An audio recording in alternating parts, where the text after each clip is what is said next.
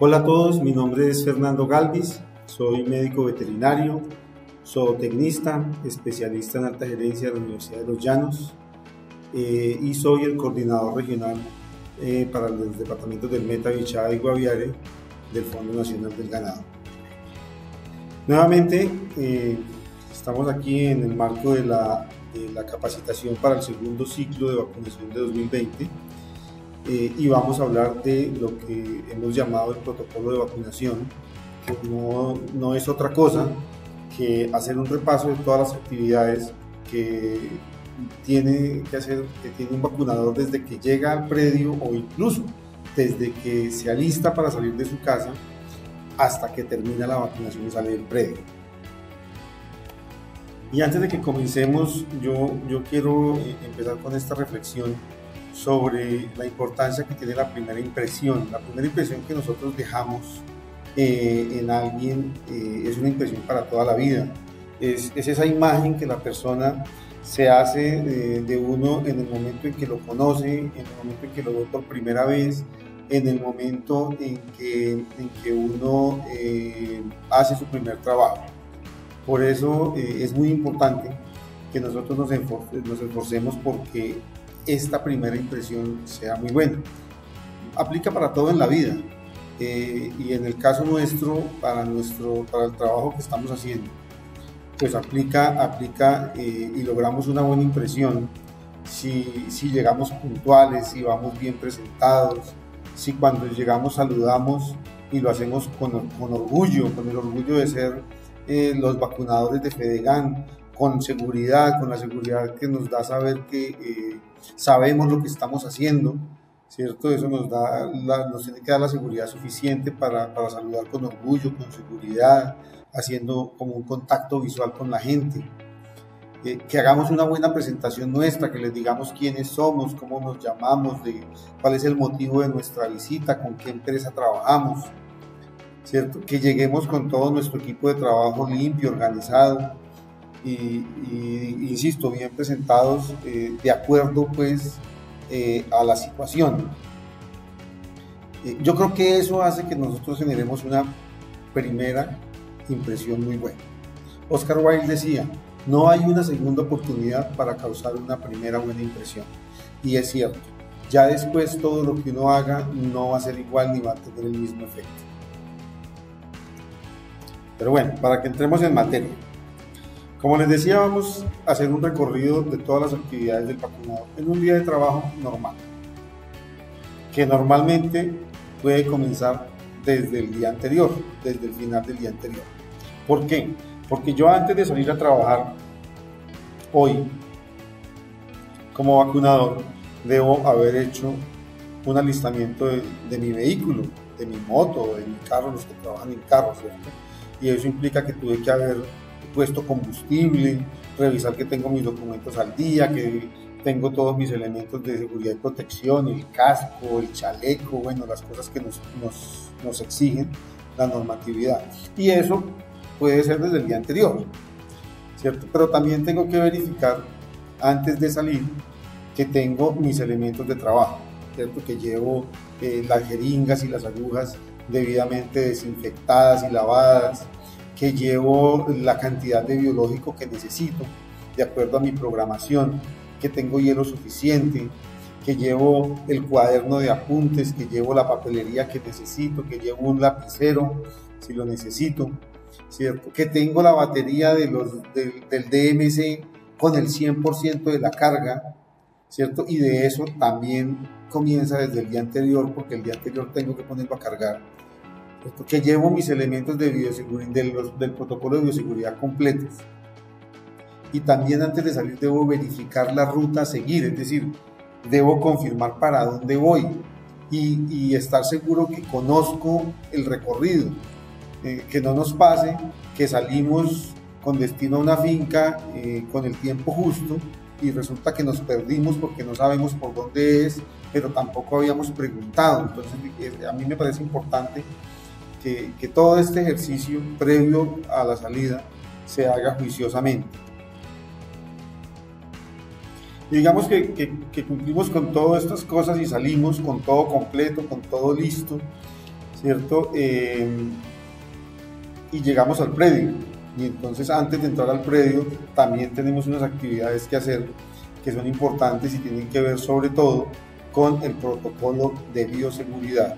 ¿Cierto? Debemos estar, eh, asegurarnos de que tenemos nuestros elementos de protección, que hacemos la desinfección de las botas, la desinfección de la moto, la desinfección de las manos, que le pedimos al personal de la finca que nos va a atender que ellos también se protejan, ¿cierto? Que, que mantengan el distanciamiento social, que los niños, que los señores, las señoras, los que no van a ayudar en el, en el corral o en el trabajo, pues que, que mantengan su distanciamiento social Y que, y que ojalá se queden en la casa y que las personas que van a trabajar con nosotros pues tengan los elementos de protección.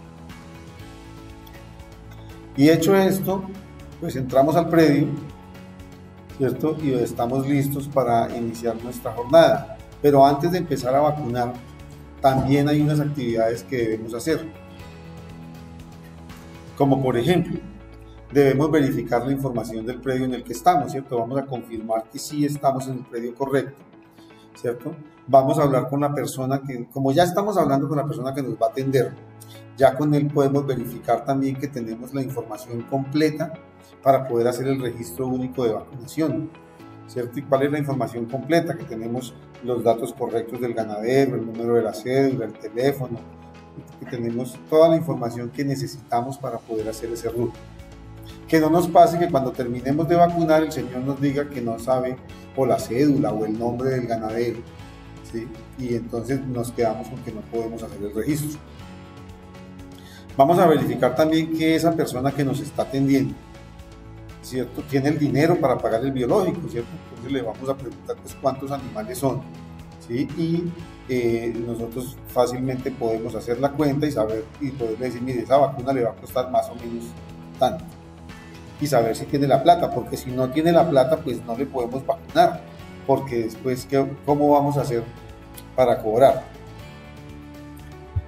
Vamos a verificar también que el biológico que llevamos es el que necesitamos, ¿cierto? Que no nos pase que eh, resulta que eh, nosotros teníamos en la programación que eran, por decir algo, 100 animales, llevamos 150 dosis, pero resulta que el señor tiene 200 en el corral y entonces nos falta vacuna y es mejor darnos cuenta desde que vamos a empezar a vacunar que darnos cuenta cuando, cuando estamos en el, en el trabajo ya.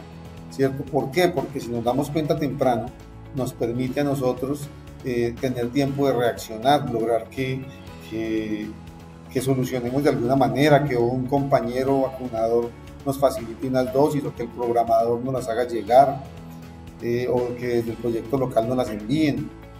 Nos da tiempo de reacción. Vamos a permitir también antes de empezar a vacunar que el ganadero verifique el estado de los biológicos y los elementos de trabajo que llevamos. Es decir, debemos, debemos eh, nosotros preocuparnos por mostrarle al ganadero en qué estado va la vacuna que llevamos, cómo está la refrigeración, cómo van los hielos, que nuestras jeringas y nuestras agujas están limpias. Eso hay que mostrárselo.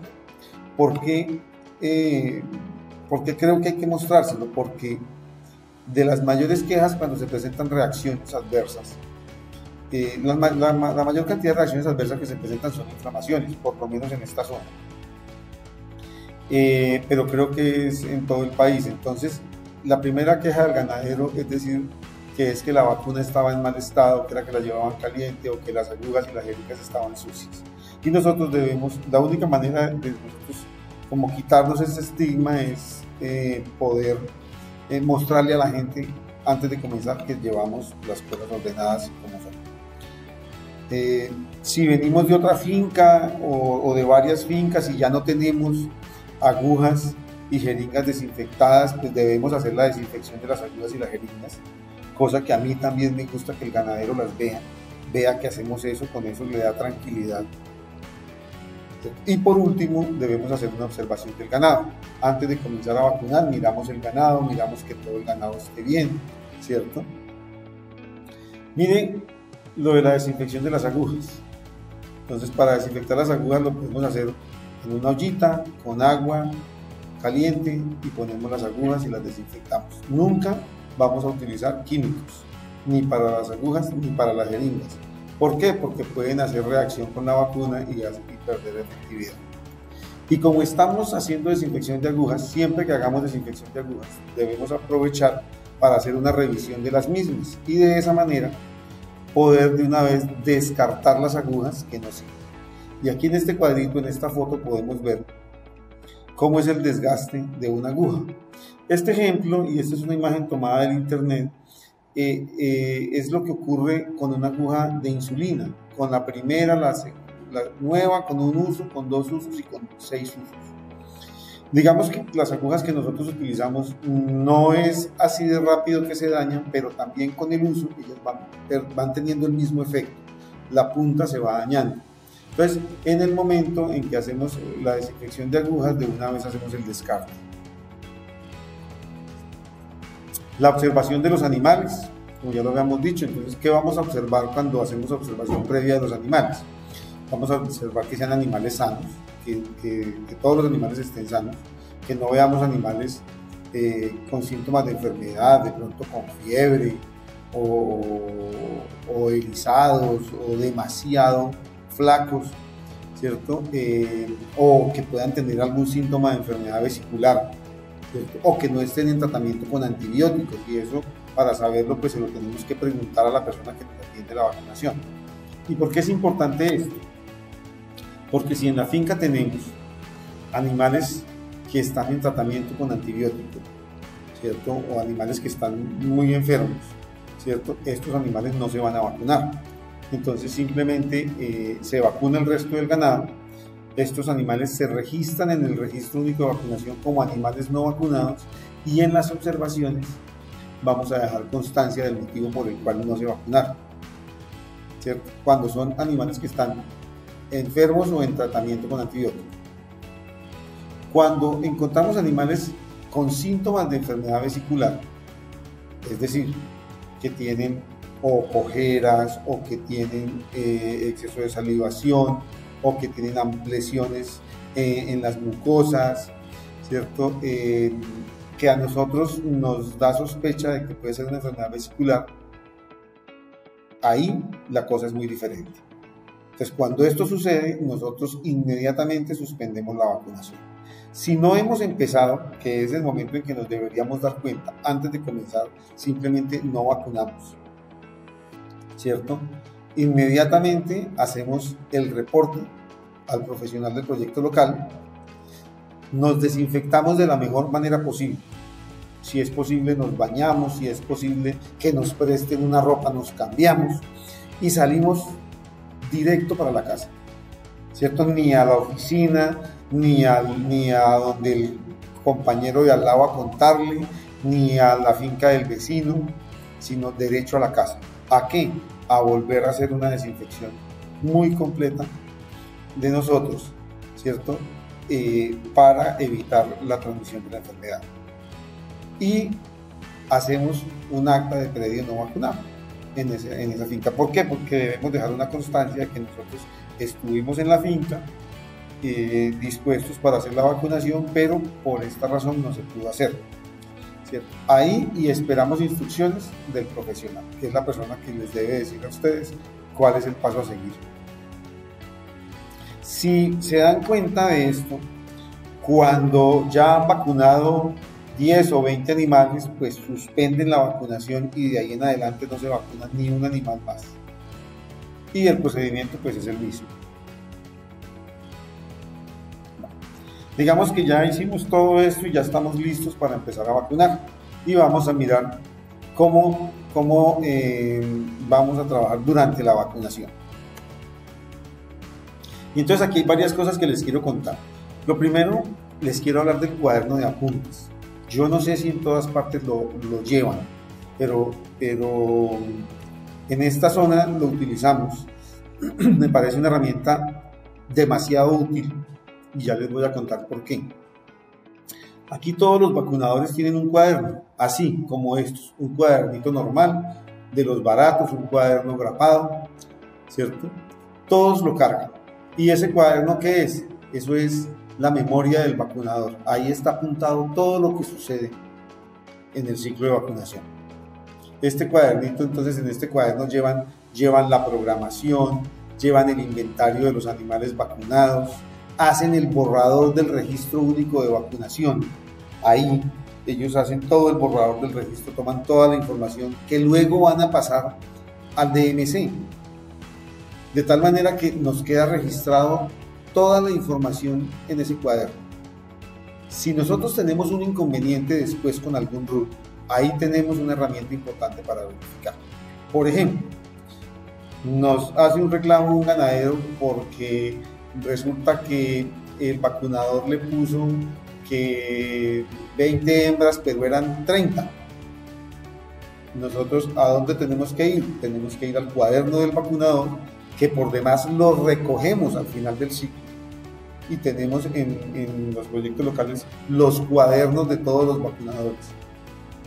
¿Cierto? Y ahí en el cuaderno, entonces, hacemos la consulta y podemos ver que eh, si eran 35 y el vacunador se equivocó o que, el señor no está diciendo la verdad porque en el, soporte que tenemos en el cuaderno está la información real. Es una herramienta muy importante. No se pierde ninguna hoja, todo queda ahí guardado. Yo, los invito a que lo utilicen. Y miren, estos estos son cuatro fotos de cuatro cuadernos diferentes. Y entonces aquí lo que yo les decía, mire, aquí está, por ejemplo, este señor, aquí está. Em, la finca San Vicente, el código del predio, la cédula del señor, cómo se llama. Eh, de la señora vacunó un macho, aquí está la otra finca.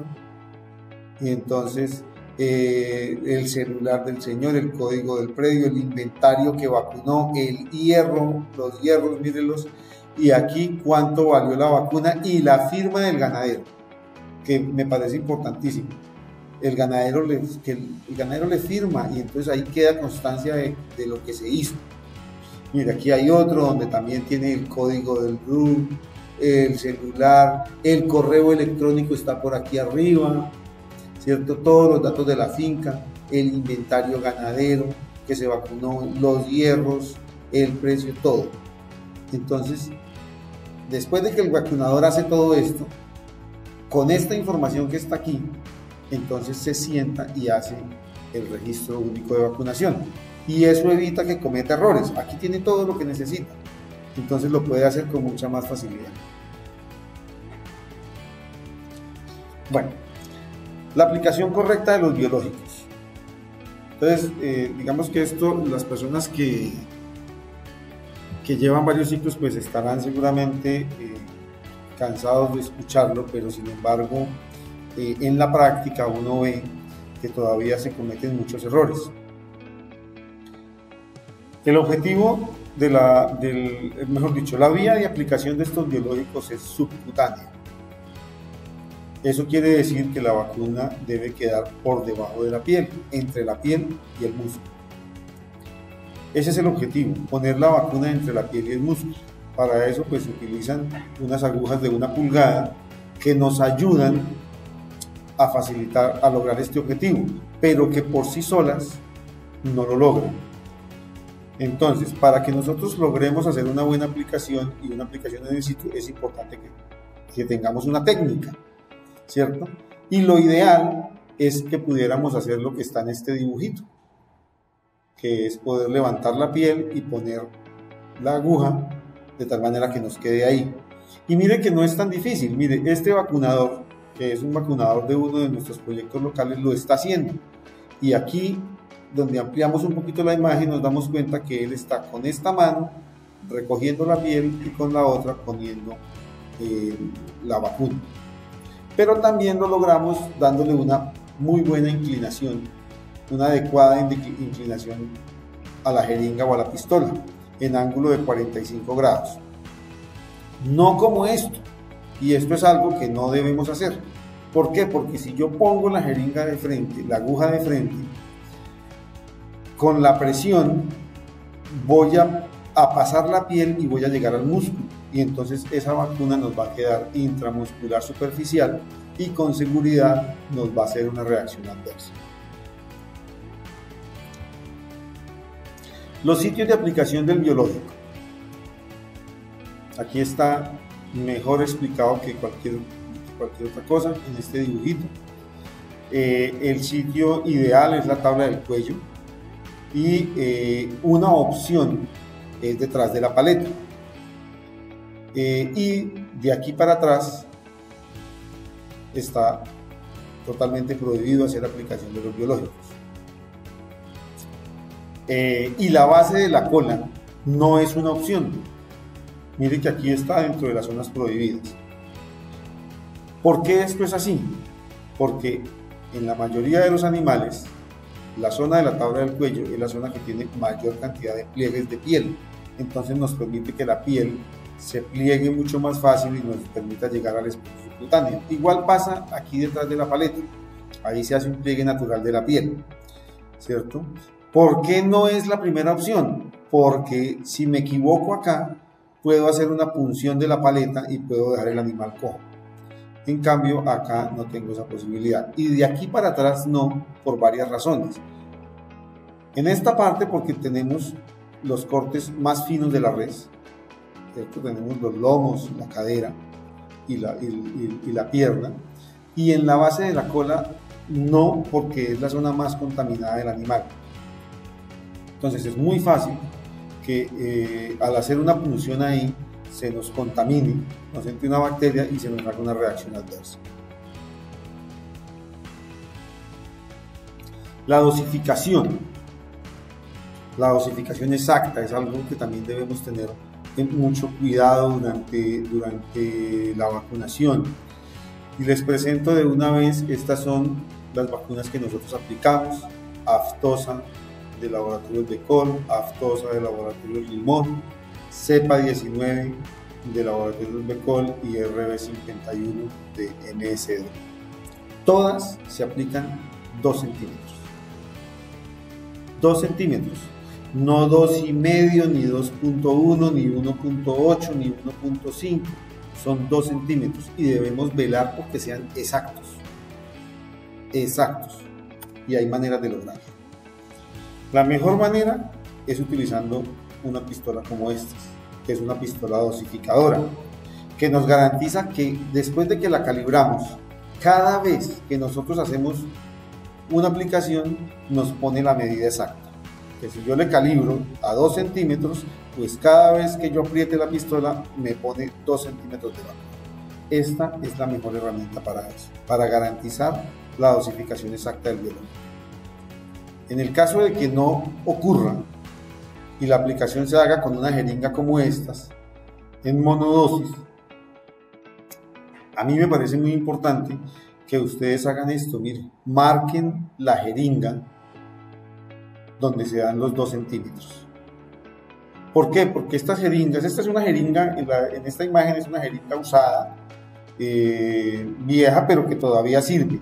Pero si uno va a mirar, ya casi no encuentra y casi no lee dónde se marcan las medidas. Y es muy difícil. Y si lo hacemos en el corral, de repente con poca luz o con mucha luz, que nos brilla mucho o sucia o de afán, entonces no vamos a ver y terminamos que servimos por aquí y entonces aplicamos 1.5, 1.8 o que le ponemos 2,5, ¿cierto? Y no ponemos una dosificación exacta para mí esto es, esto es, eh, es una, una forma de garantizar que vamos a poner las dosis exactas. Ya habíamos hablado un poquito de las agujas, pero, pero también quería decirles que durante la vacunación nosotros tenemos que hacer cambios de agujas, mínimo cada cinco animales, dice la norma, ¿cierto? Lo ideal lo ideal es que nosotros hiciéramos la vacunación de cada animal con una aguja desechable independiente y que no repitiéramos las agujas. Esto es algo en lo que eh, hemos, venido, hemos venido trabajando y en muchas regiones se ha avanzado. Eh, eh, y allá llegaremos seguramente. Pero mientras tanto, estamos utilizando muchas agujas que no son desechables, que son de largo uso y debemos tener el cuidado de hacer el cambio mínimo cada cinco animales. Eh, en términos prácticos, en algunas zonas del país donde las ganaderías son extensivas y grandes, mm, como en esta zona lo estamos haciendo eh, mínimo cada vez que se, que se llena la calceta de ganado. Eh, ¿Eso que nos permite o que, o que nos, nos evita? Evita que hagamos una diseminación de una enfermedad, nos permite hacer un corte. Si, si el primer animal de la calceta tiene una enfermedad contagiosa eh, y yo con esa aguja chuzo los cinco o seis animales que están detrás, pues seguramente voy a contaminar esos seis, pero si, pero si quito la aguja y la cambio en la siguiente calceta que entre, ya no voy a, a seguir diseminando la enfermedad. Si no lo hago y si vacuno 50 o 100 con la misma aguja, pues entonces voy a terminar haciendo un daño muy grande al ganadero. También se debe cambiar la aguja cada vez que se nos cae o se contamina, ¿cierto? Eh, una aguja, una jeringa que se cae al piso eh, en un corral, pues es una, es una aguja que quedó contaminada y seguramente con la punta también deteriorada. Eh, el paso inmediato es cambiar la, es cambiar la aguja. Y a veces en nuestra, en nuestra cultura, digamos que no tenemos eso tan metido en la cabeza y, a veces simplemente la soplamos y la limpiamos un poquito y seguimos trabajando, pero, pero eso nos va a traer inmediatamente una reacción adversa porque es, una, es un elemento contaminado. lo mismo si la aguja pierde filo y ustedes se pueden imaginar viendo, por ejemplo, una imagen como esta, eh, la lesión que produce en la piel meter una aguja de estas a las malas, ¿cierto? Y cómo nos damos cuenta que la aguja perdió filo, porque en el momento en que tratamos de poner la inyección nos damos cuenta que tenemos que hacerle fuerza a la jeringa o a la pistola para que, para que la aguja entre.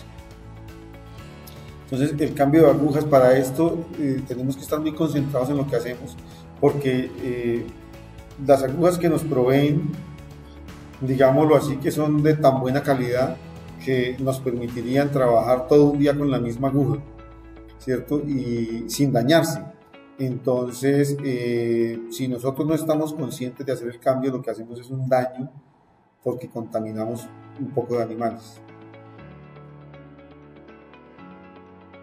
Bueno, también eh, es importante que ustedes como vacunadores lleven el inventario de los animales vacunados. Es decir, en la medida en que ustedes van vacunando, ustedes van haciendo su inventario. Eh, si no lo hacen, corren el riesgo de, eh, de que al final eh, no lo recuerden o no lo tengan claro y el registro les va a quedar mal y el señor después se va a quejar porque no, le coincide, ¿cierto? también es importante que ustedes mantengan el biológico bien refrigerado, ¿cierto? Y que tengan la, precaución de que el termo siempre esté bien cerrado, que esté a la sombra, que la vacuna siempre esté entre el termo, que no saquen el frasquito y lo dejen por ahí, o que lo carguen en la mano, o que, o que no les pase que meten la pistola entre el termo y el termo quedó medio abierto y no se dieron cuenta. ¿Cierto? Porque esto va deteriorando la calidad del frío y así mismo va deteriorando la calidad del biológico. Y acuérdense que nosotros tenemos que garantizar la cadena de frío de ese biológico hasta que regresemos al proyecto local con el biológico que nos va a sobrar en el día. Entonces, siempre debemos velar porque eh, la cadena de frío esté conservada y que el termo esté en condiciones de mantenerlo. Digamos que otra cosa que debemos hacer es, debemos mantener una observación permanente de los animales. Eh, y en el modo en que yo voy trabajando tengo que estar pendiente de lo que está pasando a mi alrededor, eh, porque puede haber un, animal con una reacción anafiláctica que yo no me, yo no me doy cuenta, o, o, puede que venga un animal enfermo que yo no vi en la observación principal, en la primera observación, perdón, eh, no me di cuenta, pero, pero si yo estoy observando sobre el camino me voy dando cuenta que vienen animales enfermos y tengo que parar la vacunación. También es importante que utilicen siempre una jeringa para aftosa y una jeringa para brucelosis, ¿cierto? Y ojalá pues las tengan identificadas, ustedes saben cuál es la vacuna de cada, la jeringa para cada uno de los biológicos. Que cuando entren los animales eh, a vacunar, separen las hembras que van a, a vacunar con brucelosis, ¿cierto? Y hagan un grupito al final o al final de cada lote y hagan una sola aplicación con las hembras, meten todas las hembritas y les hacen la aplicación. Esto eh, nos evita que cometamos errores, que, terminemos por ahí vacunando algunos machos porque por el afán entre la montonera nos confundimos, o que vacunemos hembras que ya fueron vacunadas porque no nos dimos cuenta que ya tenían eh, la, la señal en la oreja o en el cachete o que se nos queden hembras que vacunamos y se nos quedaron sin, sin hacerle la seña.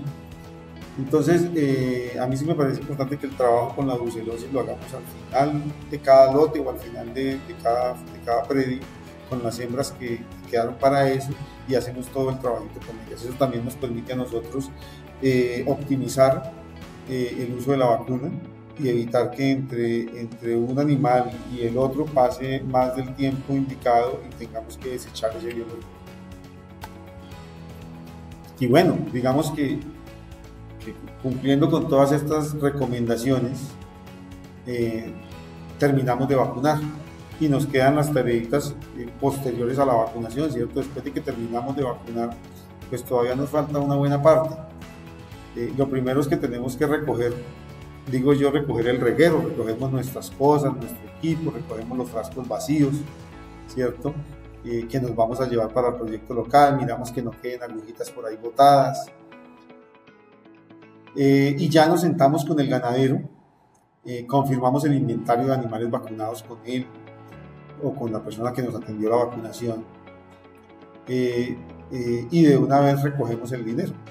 Cobramos, nos pagan, le explicamos al ganadero eh, todo esto que tiene que ver con nuestro nuevo RUP electrónico, ¿cierto? Cuáles son los alcances, los beneficios, cómo lo puede consultar, cómo le va a llegar, la importancia de que nos dé la información completa, de que nos dé un, correo electrónico, eh, todo esto que hemos hablado con el tema del registro electrónico, qué soporte le queda de la vacunación, etcétera.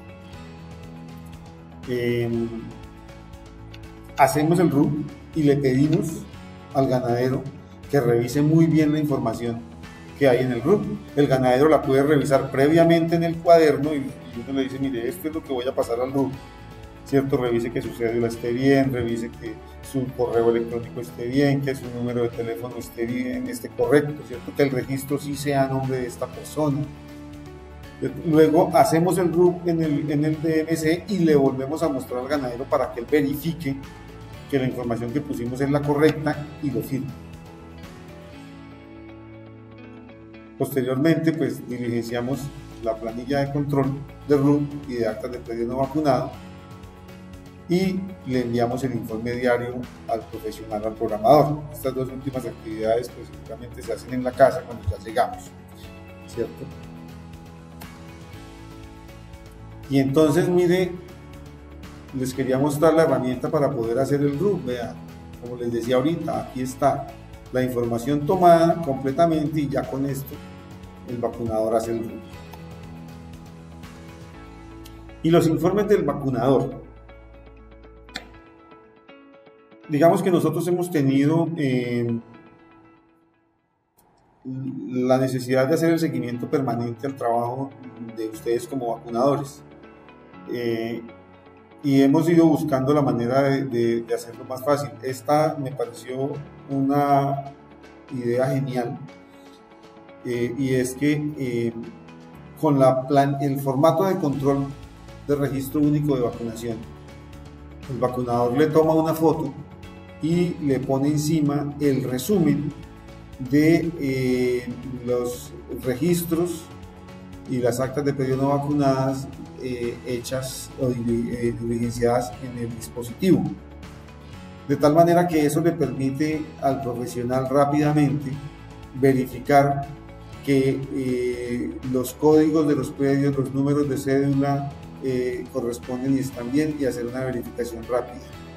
y aquí pues el señor le totaliza cuántos predios vacunó, cuántos animales, cuántos puso de cepa. Y aquí está toda la información. Lo que hace es que le toma una foto y se la envía a la persona indicada. En algunos casos se los, se los envían a los programadores que son los encargados de, de hacer eh, ese primer seguimiento y en otros casos directamente a los profesionales, de acuerdo con cada proyecto local lo hayan, lo hayan organizado. Bueno, digamos que eh, terminamos las actividades y, termina pues como la vacunación en el predio y quiero hacerles como unas recomendaciones finales que, son importantes. Eh, lo primero es que debemos ser muy cuidadosos cuando hagamos el, registro único de vacunación o el acta de pedido vacunado. Mm, toda la información que se pide en el registro es importante. Todo lo que se pide ahí es importante. Eh, cada espacio que tenemos que llenar lo debemos llenar con el mismo cuidado, porque todo ahí es importante. Y debemos estar completamente seguros que lo que estamos poniendo ahí es la información correcta. Tenemos eh, durante el interciclo eh, muchos, muchos reclamos de los ganaderos porque la información de los registros no está completa y, o correcta mejor. Y resulta que cuando ellos llegan a hacer, eh, a registrar la vacuna antelica o hacer una movilización, no pueden porque resulta que la cédula quedó mal, porque resulta que el inventario quedó mal, porque no le pusieron una cosa, porque no le pusieron la otra, porque el correo no quedó bien y no le llegó el, y no le llegó el, el RUM. Entonces digamos que yo les pido que, sean especialmente cuidadosos para el diligenciamiento de este RUM o de las actas de pedido no vacunado, de las cuales también tenemos muchas devoluciones por parte del ICA porque las actas no están completas. Otra recomendación es que no trabajen los ganados ustedes solos, siempre eh, idan y procuren que haya alguien de la finca acompañándolos a ustedes.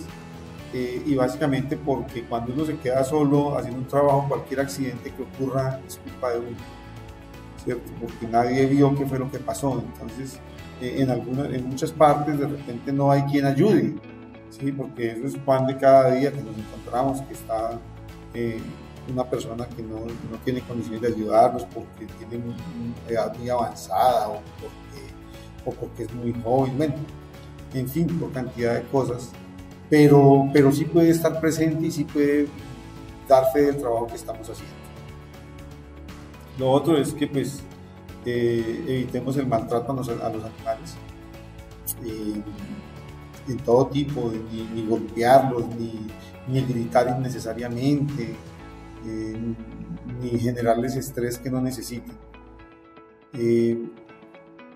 tomemos las medidas de precaución necesarias para evitar accidentes.